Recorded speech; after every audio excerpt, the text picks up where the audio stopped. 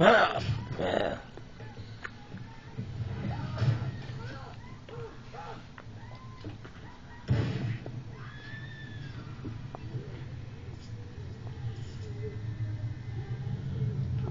no evil.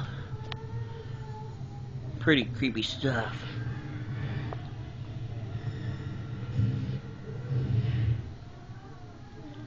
Where'd he go? He ran away. Escaped the building. And now he's gonna be in someone's hotel. What happened to her?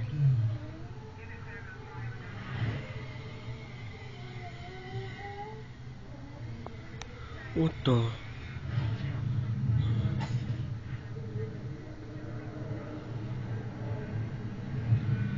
Ugh. He tore new holes in her. Two holes. Some creepy stuff. Ain't that right, Tasmania devil? Over here. You're a bad boy. See no evil. Check it out. It starts picking up after they show these prisoner kids.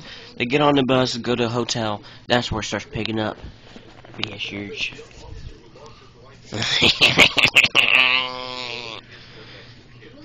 he gets this chain with a hook and it'll stab you.